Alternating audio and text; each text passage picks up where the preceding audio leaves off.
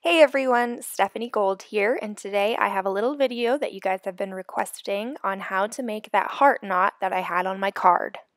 I'm putting this video in super slow motion for you guys, so hopefully you can see it really well. I'm also going to be making this knot really big instead of really small, how I usually work with it. And hopefully this will give you a better idea of how to create this knot. So the first thing I'm doing is I am going to cross one side underneath the other side and to help me show you and to make it a little bit easier, I'm going to use a little piece of washi tape and just tape that end down. The next thing that I'm going to do is use this bottom piece and I'm going to loop it through the little hoop that we have just created.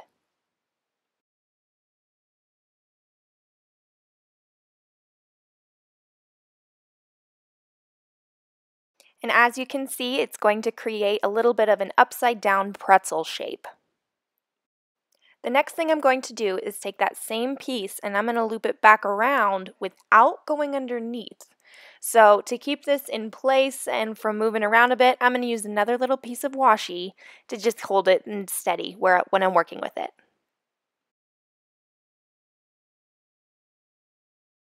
Now again, working with that same end, I'm going to go stay on top of that piece, but go underneath the center piece and over top of the bottom.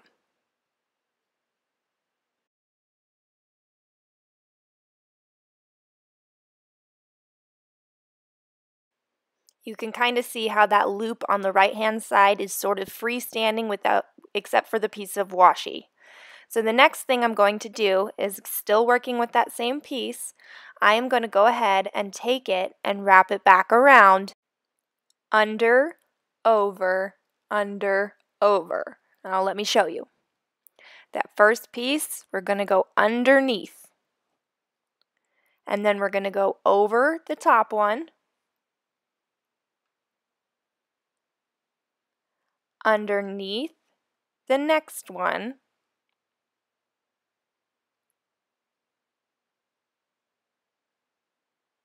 And then over again the top the last one.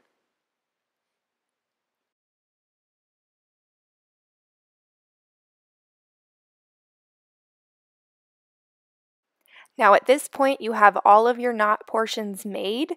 All you're going to do is remove the washi and gently fudge your knot a little bit here and there until it's nice and tight and forming the shape of the heart.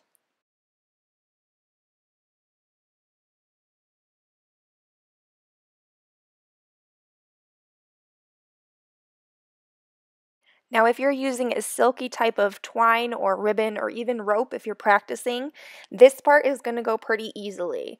Right now I'm working with something a little bit harder and that natural twine that I had used on my original card was also a little bit harder, so you do have to work with it with your fingers a little bit here and there until you get the finished result you would like.